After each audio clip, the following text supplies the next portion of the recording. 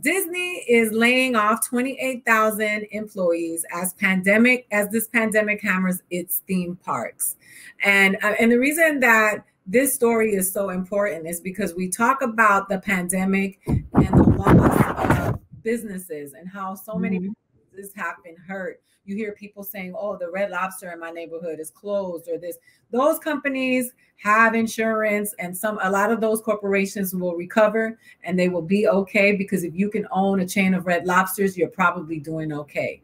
But a lot of people are losing their jobs, and yep um, these people who work at theme parks who we don't think about because those jobs are jobs that don't make a lot of money and we don't value in this capitalistic materialistic superficial um, society that we live in those 28,000 employees that are there to be of service to those people who can afford, who can even go afford to go to Disney World and Disneyland, which a ticket is now over a hundred dollars a person.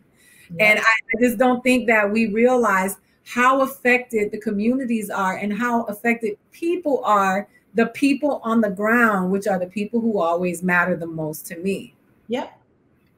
And i think a lot of people aren't looking at it. Someone i forget who i was talking to but they're like well they should have had savings. A lot of people aren't making enough living wages to save. It's not about irresponsibility or anything like that. They're literally living check to check. So so many people, and you know, I used to do restaurants. So I have a lot of my friends who are suffering now because they can't, they're not serving, or the restaurants are either being shut down or they're dealing with only 25% of the capacity. Where it was already a struggle. Now it's like, well, you still can work, but you're making less than you would on unemployment at this point, And it's unfortunate. Yeah, it's really, really uh, bad. And that's 28,000 um, people that are I don't know if this is Disney worldwide or um, I didn't read the story, I didn't get to it. But I, if it is worldwide, I mean, those are people in Florida, people in in Los Angeles, those are or Anaheim or in the surrounding areas. Yeah the people all over the world that that's the Disney cruises. That's all the Disney. Yeah, and those are entertainers, which a lot of people, you know, people love entertainers because entertainers are who keep people. They keep you going through these moments. Everybody's binge watching. You know, you yep. you have a lot of these people talking about people in Hollywood and the actors and this, but those are the people who are getting you through this moment. And uh, those people who work at Disney it when it's hot and they have to wear a goofy outfit or they're serving the hamburgers to people who are being rude to them. Those are all human beings. So yep. 28,000 human beings lost their jobs and uh, and people are still politicizing this pandemic instead of really trying to find solutions and how to making how to make the world better for us in this moment because this is our reality. And I don't think a lot of people touched on as far as them being entertainers, people aren't thinking about the entertainers. What they're doing is they're coming to our IGs or our lives and they're getting all this good free entertainment and like you need to keep you need to keep going. I was like, but I need to also keep paying this rent. And I shared with you before, I was catfished. a childhood friend who basically hit me up and said, I have a job for you. And I got excited because I need all the jobs. And I was like, oh, a corporate gig. And it was like, ha ha, got you. This is such and such. Um, I just wanted to get in contact with you. The shit's not a game. right. entertainers, entertainers, restaurant workers, all of the people that people take for granted, but make their lives so much better. Human beings are being affected. And I think more people need to take that seriously. Yeah, I agree um, or the parrots are gonna cuss you. the parrots are gonna cuss your ass out. I'm gonna get a parrot. And don't let the eagles get involved.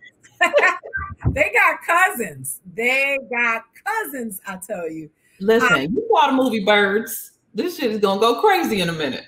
I'm talking about, you know, and that was the thing that somebody, uh, Rodney Higgins made a good point. We, you know, these debates, they've become so political you go to Twitter, you go to Facebook, the conversations that people are having are whatever points they can make about the other side to throw the other side under the bus. Yeah. What we're not having conversations about are like the daily lives of people who are struggling right now, the essential workers, the people who um, don't have the, the glamorous jobs where they're ma- or, or the big time jobs where they're making yeah. 200 300,000 that don't have a savings who are trying to survive this economy going up and down because people are playing politics with it. Um, Unemployment has also been fluctuating. You know, some people are really suffering because of it. $1,200. What did it do? What did $1,200 do for you? Not, not a motherfucking thing. And I didn't even get the full 12. Right. I, think, I think I got 900, I believe. Think it was something like that. But it's, and then they go on recess in the middle of talking about how our lives are going to change. They're like, "Oh, we got to go on vacation for a second. Y'all be all right." And it's not it's not okay. Like even at the max in California, the max in California, you're getting eighteen hundred dollars a month if yeah. you max out on unemployment. And then the max on unemployment, let's say you're getting 800, 1800 a month, you still don't necessarily qualify for like food stamps or CalFresh because they say that's too much. It, it's a ridiculous thing. Somebody I know was trying to get uh, food stamps and it got, they were like, oh, you got approved. You can get $16 a month. The fuck you gonna do with $16 a month for groceries? I'll tell you what you're not gonna do. You're not gonna eat. At all. you're not going to do anything. Um, and uh, you know, also they've made it so that you can go to fast food restaurants with food stamps because they're all in it. so that, that you go to McDonald's, you can go to whatever it is and go buy some food.